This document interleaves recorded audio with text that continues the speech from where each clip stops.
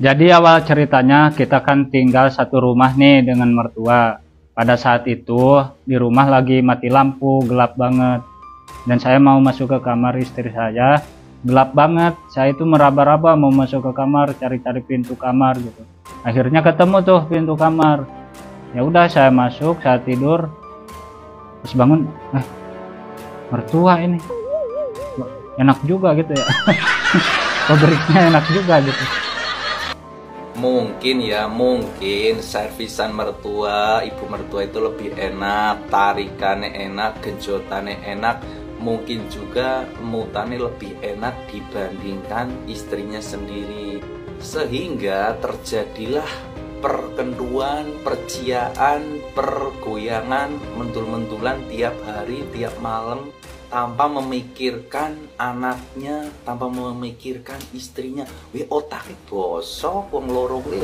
Apa mantune gue barangnya gede, e, berurat, terus dipasang rudal, mungkin rudalnya banyak apa piye ngono. Jadi nih sang ibu mertua gue ketika dimasuk ini ibu-ibu yang selingkuh sama menantunya ini ya nggak rasa ada nggak ada rasa kasihan gitu sama anaknya sama sekali ya. Anak tunggal tapi kalau dia pas marah sama anaknya anaknya disumpahin yang jelek-jelek yang kotor-kotor gitu ya. Sama anaknya disumpahin kayak gitu. Padahal anak sendiri ya anak satu-satunya. Kok nggak mikir ya nanti kalau udah tua tuh yang ngerawat siapa kalau nggak anak? Ya toh jangan seperti itu. Kalau sama anak marah tuh jangan sampai menyumpahi anak. Ya kan itu darah daging kita.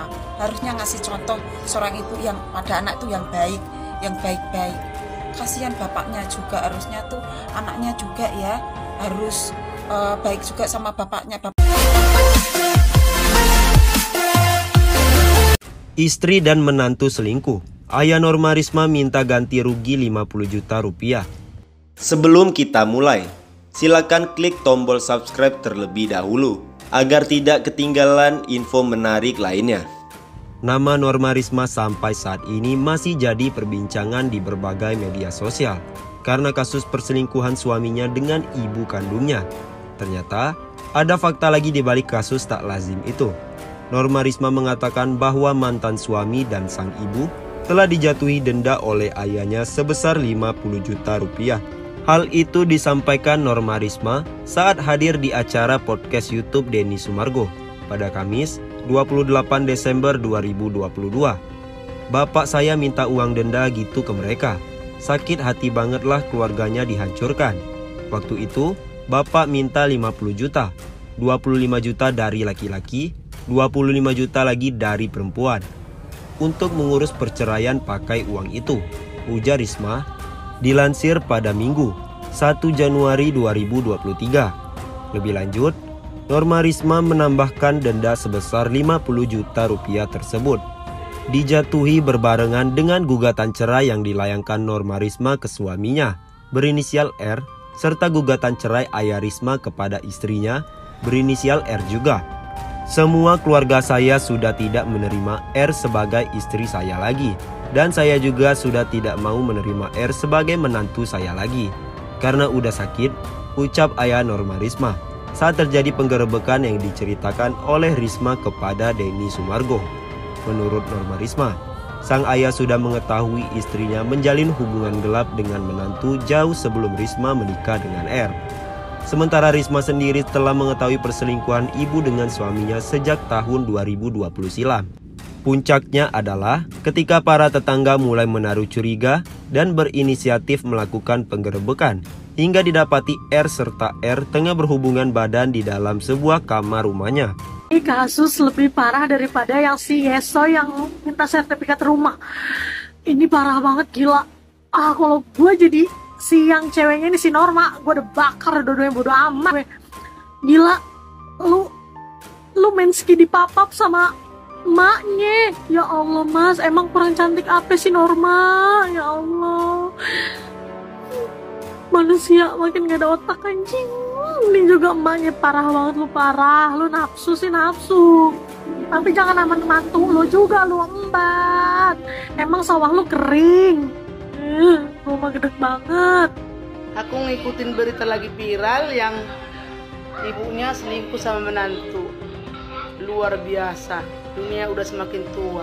Jadi kalau kita sudah melihat tanda-tanda yang tidak baik dari pasangan sebelum melaksanakan pernikahan, harusnya itu menjadi catatan penting buat kita untuk memikirkan kembali apakah kita harus melanjutkan pernikahan atau enggak. Karena pilihannya dua, kita akan berhadapan dengan orang yang seperti itu seumur hidup kita atau justru hubungan kita yang akan berakhir. Siapa yang pengen maafin lo, tahu nggak lo percuma. Itu tuh lukanya udah teramat dalam, tahu nggak lo si Norma tuh sama bapaknya apalagi. Lo lagian, lo milih-milih dong ya Allah. Lu mah kenapa bisa begitu? Emang kekurangan gadis apa bagaimana? Ya Allah. Tuh bisa aduh dua-duaan kayak sakit lu berdua dah. Ya ampun beneran gua mah. Gua bener-bener kasihan banget sama si Normanya. Lu mah jahat banget jadi laki. Nah, rasain kan lu aib lu sekarang kesebar seluruh Indonesia. Indonesia tahu. Nah, lu susah dah tuh nyari kerja, nyari bini. Susah, lu bakal susah tuh nggak hidup lu, Bang. Bang. Ampun gua mah. Tanya Norma di podcast Densu, aku benar-benar shock alias kaget banget. Kok bisa-bisanya seorang mertua ngechat menantunya dengan kata-kata seperti itu. Jadi istri Terbaru, orang pertama yang tahu perselingkuhan suami Norma Risma ungkap hal ini. Kasus perzinahan yang dilakukan suami Norma Risma dengan ibu mertuanya ini menjadi viral di media sosial. Kisahnya membuat publik tercengang sampai menuai berbagai respon. Kini, muncul pengakuan Alfi, bos Norma Risma, yang mengaku sebagai orang yang pertama tahu tentang sikap Norma Risma. Ia kaget dengan cerita Norma Risma yang mendapati suaminya berzina dengan ibu kandungnya sendiri. Waktu pertama kali mendengar, emang aku orang pertama di kantor atau di toko yang dengar cerita aku tuh terpukul banget dan aku bingung harus berbuat apa. Karena pada saat itu, Norma juga nggak keluar rumah, nggak keluar kamar selama 3-4 hari. Ucap Alfi dilansir dari Intip Seleb Sabtu 31 Desember 2022. Selain itu, Alfi juga membongkar kondisi parah Norma yang memprihatinkan sebab ia tak makan sama sekali dan akhirnya membawa Norma ke psikiater. Melihat keadaan Norma yang emang udah nggak makan dan nggak tidur, aku berpikir apa yang harus aku lakukan buat nolong dia.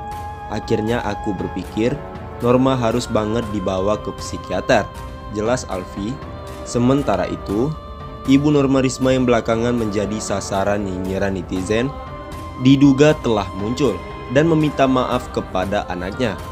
Hal ini dilihat dari sebuah akun TikTok yang memperlihatkan pesan diduga dari Ibu Norma. Balas pesan mama nak, tulis pesan tersebut. Dikutip dari akun TikTok @gosip terkini, Mama minta maaf. Semenjak itu terjadi, semua orang membenci Mama. Sekarang